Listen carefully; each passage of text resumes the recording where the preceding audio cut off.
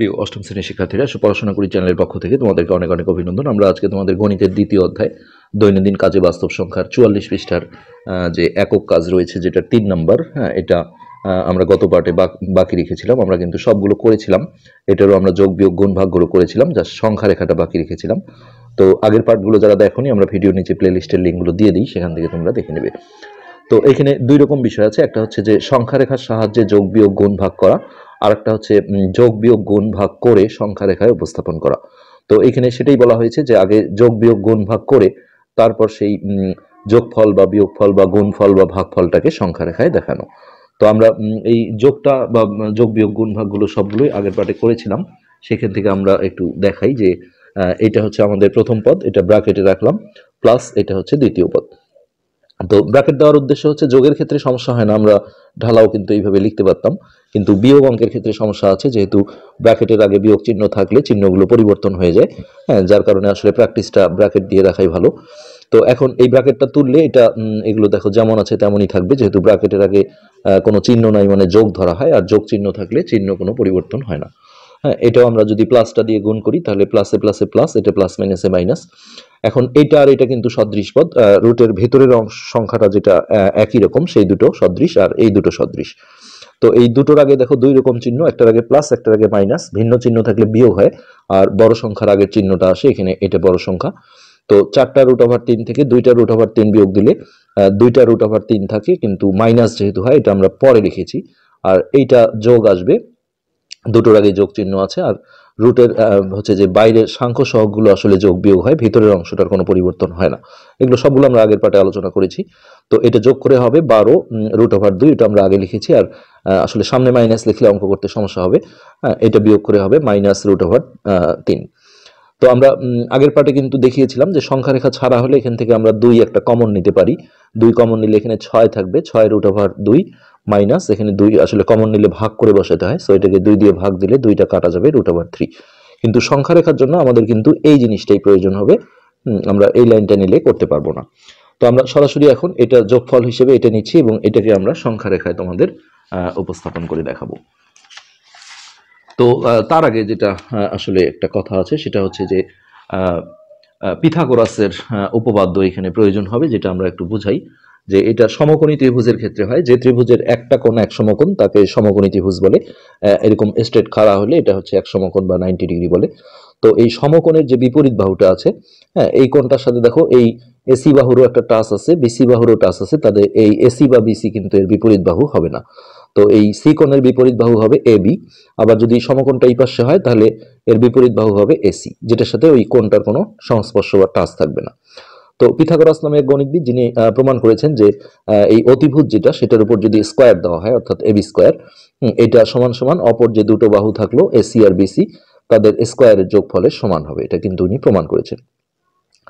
তো এখানেও যদি হয়, আমরা যদি এসি অতিভুজ হয়, তাহলে এসি স্কোয়ার সমান, আমরা এটা যে কোনো একটা আগে লিখতে পারি হ্যাঁ যেহেতু এখানে যোগ সম্পর্ক, তাহলে অপর দুই বাহু ছিল AB square plus BC square আরেকটা বিষয় যে আমরা বীজগণিতের চলকের ক্ষেত্রে দুইটা বা তিনটা চলক থাকলে স্কোয়ার দিলে ব্র্যাকেট দিয়ে দিই, কিন্তু বাহুর ক্ষেত্রে দেখো ব্র্যাকেট ছাড়াই স্কোয়ার দিতে হয়। এটা একটা বিষয়। তো আরেকটা বিষয় যে এবির মান আমরা যদি ফাইভ ধরি, তাহলে এটা হচ্ছে ফাইভ স্কোয়ার হ্যাঁ এসির মান ধরো আমরা ধরলাম থ্রি তাহলে থ্রি স্কোয়ার বিসির মান ফোর তাহলে ফোর স্কোয়ার তাহলে ফাইভ স্কোয়ারে হচ্ছে পঁচিশ, আর এদিকে থ্রি স্কোয়ারে নাইন ফোর স্কোয়ারে ষোলো ষোলো আর নয় যোগ করলেও দেখো পঁচিশ হয়, তাহলে পঁচিশ আর পঁচিশ কিন্তু সমান। কিন্তু আমি যদি এখন এবির মানটা ধরো ছয় মনে করি এসির মান আমাকে যদি কেউ বলে দেয় থ্রি আর বিসির মান হচ্ছে ফাইভ হ্যাঁ এটা আমরা যদি ক্যালকুলেশন করি, ছয় স্কোয়ারে হচ্ছে ছত্রিশ, তিন স্কোয়ারে নয়, পাঁচ স্কোয়ারে পঁচিশ, এটা যোগ করে হচ্ছে চৌত্রিশ হ্যাঁ আর এই পাশে থাকল ছত্রিশ, তাহলে ছত্রিশ কিন্তু চৌত্রিশের সমান নয় নট ইকুয়াল টু তো এইরকম থ্রি তারপরে ফাইভ সিক্স সেমি হোক আর ইঞ্চি হোক আর ফুট হোক এই মাপে তুমি সারাদিন চেষ্টা করেও কিন্তু সমকোণী ত্রিভুজ আঁকতে পারবে না। যেহেতু এখানে তিনটা করে বাহু থাকলে সবচেয়ে যে বড় বাহু সেটাকে অতিভুজ হিসেবে কল্পনা করে তোমাদের এই ডিজাইনটা আনতে হয় যে এর উপরে স্কোয়ার দিয়ে যদি অপর দুই বাহুর উপরে স্কোয়ারের সমষ্টি সমান হয়, তাহলেই সমকোণী ত্রিভুজ আঁকা যাবে। সেই বাহুগুলো দিয়ে কিন্তু যদি সেটা না হয় তাহলে সারাদিন চেষ্টা করেও অন্য কোনো ত্রিভুজ হতে পারে, কিন্তু সমকোণী ত্রিভুজ কিন্তু হবে না। তো আমাদের এত কিছু এখানে দরকার নেই। আমাদের এই থিমটাই দরকার যে সমকোণী ত্রিভুজের ক্ষেত্রে অতিভুজের উপরে স্কোয়ার দিলে এটা অপর দুই বাহুর উপরে স্কোয়ারের যোগফলের সমান হবে। তো আমরা এখন দেখো এই যে যোগফলটা আমরা ওইখানে পেয়েছিলাম যোগফল, সেই যোগফলটা আমরা আগে সরাসরি এখান থেকে তুলে নিয়ে আসব। তো বারো রুট ওভার দুই মাইনাস দুই রুট ওভার তিন, এইটা আমরা জাস্ট এখানে যদিও বিয়োগ চিহ্ন আসছে, কিন্তু আমাদের যোগ করে কিন্তু এই ফলটাই আসছে। এখন আমরা স্কেল দিয়ে হচ্ছে যে বড় করে একটা রেখা নিয়ে নেব। এটার কোনো মাপযোগ নেই, যত বড় পারা যায় নিতে হবে। তো এখানে আমরা দেখো ও নাম দিই। এখন আমরা যেটা করব যে এক একক। এই এক এককটা আমার হচ্ছে যে মিটার, সেন্টিমিটার, ইঞ্চি, ফুট যে কোনো হতে পারে, আমার খাতার জায়গার উপর নির্ভর করবে। আসলে ইঞ্চির মাপ কিন্তু অনেক বড়, এটা এক ইঞ্চি। হ্যাঁ দেখা যায় যে জায়গায় হয় না। যার কারণে আমরা সেন্টিমিটার স্কেল দিয়ে করছি। কিন্তু সেখানে আমরা উল্লেখ করব না। আমরা শুধুমাত্র এক একক হ্যাঁ এইভাবে বলব। তো আমার এখানে আসলে জিরোটা নাই, যার কারণে আমি দেখো যদি আঠারোতে ধরি, আঠারো থেকে আমি উনিশ পর্যন্ত দাগ দিলে এটি কিন্তু আমার এক একক হয়ে যাবে। আমি ইঞ্চি সেন্টিমিটার স্কেলে ধরেছি। তোমাদের অ্যাভেলেবেল জায়গা থাকলে তোমরা ইঞ্চি স্কেল দিয়ে ধরতে পারো। তো আমি যদি বিশে ধরি, তাহলে কি একুশ পর্যন্ত দাগ দেবো। জাস্ট এই বিশ এখানে ধরলাম, তাহলে এটা হচ্ছে একুশ। এটাই হচ্ছে আমাদের হ্যাঁ এক একক। এইখানে আমরা একটা এ নামকরণ করি। এখানে আমরা লিখে দিই যে ও এ সমান হচ্ছে এক একক। এবার আমরা যেটা করব যে এই এ বিন্দুতে স্ট্রেট খাড়া করে একটা লম্ব আঁকবো, এটাও এক একক দৈর্ঘ্য বিশিষ্ট। দেখো আমি আঠারোতে ধরেছি, হুম, তাহলে আঠারো থেকে এই যে সতেরো দাগ, এই পর্যন্ত দাগ দেবো। এটা একটা লম্ব, খাড়া করে দিতে হবে। হ্যাঁ তুমি যদি জিরোতে ধরো, তাহলে ওয়ান পর্যন্ত। এটা আশা করি বুঝতে পেরেছ। তাহলে এইখানে আমরা বি নামকরণ করি, তাহলে এই এ বি লম্বটার পরিমাপও কিন্তু এক একক। এখন আমরা ও আর বি এই দুটো বিন্দু যদি যোগ করে দিই, তাহলে এখানে আমাদের দেখো একটা সমকোণী ত্রিভুজ সৃষ্টি হয়ে গেল। হ্যাঁ তাহলে এই সমকোণী ত্রিভুজে আমরা এখন পিথাগোরাসের উপপাদ্য অ্যাপ্লাই করব, যে এ ও বি সমকোণী সমকোণী ত্রিভুজে। এখানে আমাদের সমকোণ যেহেতু এই এ কোণটা, তাহলে এর বিপরীত বাহু হচ্ছে ও বি হ্যাঁ এটা হচ্ছে অতিভুজ ত্রিভুজে, তাহলে ও বি স্কোয়ার সমান অপর দুই বাহু হচ্ছে O A square plus A B square এটা যেহেতু যোগ আকারে আছে, আমরা যে কোনো একটা আগে লিখতে পারব। এখন এইখান থেকে আমরা দেখো ও বির মানটা আস্তে আস্তে বের করে নেব। হ্যাঁ ও এর মানও হচ্ছে এক, তাহলে এক স্কোয়ার এ বির মানও এক এক স্কোয়ার। তাহলে বা ও বি স্কোয়ার সমান একের উপর যত পাওয়ারই থাক, এটা এক হয়। এক, এটাও এক। তারপর এটা যোগ করলে হবে দুই, তাহলে ও বি স্কোয়ার সমান দুই। আর সমাধানের ক্ষেত্রে, সমান চিহ্নের ক্ষেত্রে স্কোয়ারটা এক পাশ থেকে আরেক পাশে গেলে এটা রুট ওভার বর্গমূল হয়ে যায়, এই রুট ওভার দুই। এবার দেখো এই ওবির মানটা আমরা এইখানে প্লেস করব যে এটা আমাদের রুট ওভার দুই। তো এখানে দেখো রুট ওভার দুই যুক্ত বারোটা আছে। তাহলে আমরা কি করব? এই ওবির একটা মাপ নিয়ে নেব কম্পাস দিয়ে।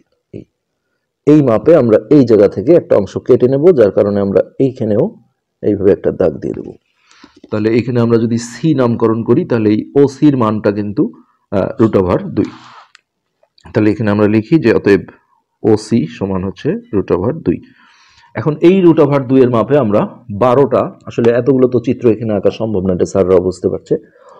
আমরা বারো বার ওই বড় যে আমাদের আহ, রেখাটা আছে এখান থেকে আমরা কেটে নেব এই ও বি অথবা ও সির মাপে। তো এটা হচ্ছে এক। এইখানে একটা দাগ দাও দুই। এইটা তিন। তারপর চার। পাঁচ। ছয়। ছয় সাত, আট, নয়, দশ, এগারো, বারো। ওকে। তো এইখানে আমরা এ বি সি ডি নামকরণ করি। তো এটা যদি আমাদের ডি নাম হয় হ্যাঁ তাহলে এই ও থেকে এই ও থেকে এই ডি এর দূরত্বটা হবে বারো রুট ওভার দুই। কেননা এইখানে দেখো একটা রুট ওভার দুই এই যে এতটুক ওসি তারপরে ওসির মাপে আমরা যখন এটা নিলাম, দুইটা, তিনটা, চারটা, পাঁচটা, ছয়টা, সাতটা, আটটা, নয়টা, দশটা, এগারোটা, বারোটা। তো এখানে আমরা লিখি যে ওডির মান ওডি হচ্ছে বারো রুট ওভার দুই।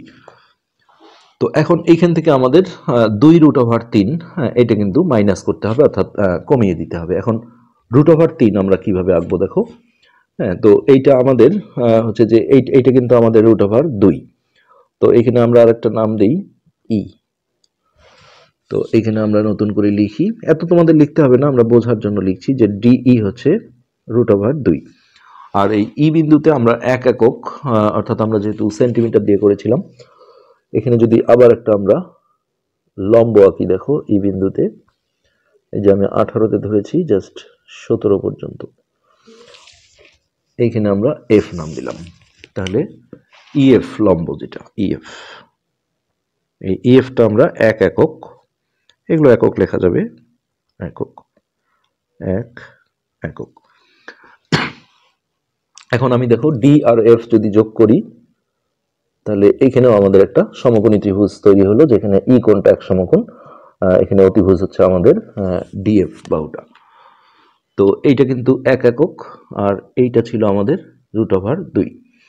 হ্যাঁ এখন হচ্ছে যে এইখান থেকে এই ও বিন্দু থেকে স্টার্ট করে ওই ডি পর্যন্ত, আমরা হয়তো ক্যামেরায় পুরোটা দেখাতে পারছি না, এই যে ডি পর্যন্ত, এই পুরো মাপটা হচ্ছে আমাদের বারো রুট ওভার দুই। হ্যাঁ এখন এইখান থেকে দেখো আমরা আবার যদি পিথাগোরাস অ্যাপ্লাই করি, এখানে এটা হচ্ছে আমাদের অতিভুজ, তাহলে ডিএফ ডিএফ স্কোয়ার আমরা এখানে লিখি যে ডিএফ স্কোয়ার সমান অপর যে দুটা বাহু থাকল, একটা ইডি বা ডিই আর একটা হচ্ছে ইএফ তাদের উপর স্কোয়ারের যোগফলের সমান। DE square plus E F square এইখান থেকে আমরা দেখো ডিএফ এর মানটা বের করে আনব। তো ডি এর মান হচ্ছে রুট ওভার দুই, তার উপর স্কোয়ার ইএফ এর মান এক এক স্কোয়ার তো এখন আমরা ডান পাশের ক্যালকুলেশনটা করি D F square square root কাটা গেলে এটা হবে দুই, আর একের উপর যত পাওয়ারই থাক এটা এক। এইখান থেকে আমরা সুন্দর দেখো রুট ওভার তিন বের করে আনব আস্তে আস্তে। দুই আর এক যোগ করলে তিন, আর স্কোয়ারটা এই পাশে পাঠিয়ে দিলে ডিএফ এর মান আমরা পাচ্ছি রুট ওভার তিন। তাহলে এই যে আমরা এই রুট ওভার তিনের ব্যবস্থা কিন্তু করে ফেলেছি। এখন এই ডিএফ এর মাপে আমাদের এখানে দুইটা রুট ওভার তিন লাগে। সো আমরা এই ডিএফ এর সমান মাপ যদি নেই এটি কিন্তু রুট ওভার রুট ওভার তিন। তো এইখান থেকে দেখো জাস্ট এইভাবে একটা যদি কেটে নেই তারপর এইখানে আমরা একটা নামকরণ করি জি তাহলে এই ডিজির মাপটা হ্যাঁ হচ্ছে আমাদের রুট ওভার তিন। তো যেহেতু দুইটা লাগবে আমাদের, তাহলে এই মাপটাতেই হ্যাঁ এইখান থেকে একটা রুট ওভার তিন, আবার এইখান থেকে আর একটা আমরা রুট ওভার তিন নিয়ে নিলাম। এটা আমরা নামকরণ করি এইচ তাহলে এইটা হচ্ছে একটা রুট ওভার তিন, এই যে ডিজি এখানে আমরা জিনিসটা লিখে দিই যে এখানে ডিজি সমান রুট ওভার তিন। কেন এটা হলো? যে আমরা ডিএফ যেহেতু রুট ওভার তিন, এই ডিএফ এর মাপেই কিন্তু ডিজিটা কেটে নিয়েছি।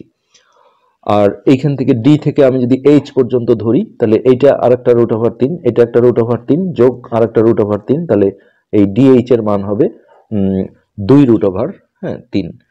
তো এটা আমরা এখানে লিখি যে ডিএইচ ডিএইচ সমান হচ্ছে রুট ওভার তিন যোগ রুট ওভার তিন, তাহলে দুই রুট ওভার তিন। এখন আমাদের অঙ্কটা ছিল যে বারো রুট ওভার দুই থেকে দুই রুট ওভার তিন বিয়োগ করা। তাহলে আমাদের এই পুরো এইখান থেকে ও বিন্দু থেকে এই ডি বিন্দু পর্যন্ত এটা পুরোটা ছিল বারো রুট ওভার দুই। তো এইখান থেকে বিয়োগ মানে কি? সরিয়ে দেওয়া। তাহলে এই এতটুকু অংশ হচ্ছে আমাদের দুই রুট ওভার তিন যেটা আমরা এখনই করলাম। তো এটা যদি আমরা সরিয়ে দিই তাহলে আমাদের ফাইনাল অ্যান্সার কিন্তু এই জিরো থেকে এইচ পর্যন্ত যে অংশটা আছে এটাই হচ্ছে আমাদের হ্যাঁ, নির্ণেয় যোগফল। তাহলে অতএব বারো রুট ওভার দুই বিয়োগ দুই রুট ওভার তিন সমান বারো রুট ওভার দুই ছিল আমাদের পুরো ওডি এই যে দেখো ও থেকে একদম ডি পর্যন্ত এটা বারো রুট ওভার দুই এই ওডি থেকে আমরা দুই রুট ওভার তিন অর্থাৎ এই ডিএইচ এটা মাইনাস করে দিচ্ছি, সরিয়ে দিচ্ছি। ওডি মাইনাস ডিএইচ তো এই ওডি থেকে ওডি হলো এত দূর, এখান থেকে ডিএইচ যদি বাদ দিই, তাহলে ও এইচ হচ্ছে আমাদের অ্যান্সার সমান হচ্ছে ও এইচ আশা করি এটা বুঝতে পেরেছ। আসলে পার্টগুলো একসাথে যোগ বিয়োগ গুণ ভাগ দেখানো সো টাফ একটাতেই আমাদের প্রায় পনেরো মিনিট পার হয়ে গেছে। তো আমরা চেষ্টা করছি আসলে আলাদা আলাদাভাবে দেখানো। আজকের পার্টে আমরা যোগটাই দেখালাম। আজকে পর্যন্তই। ধন্যবাদ।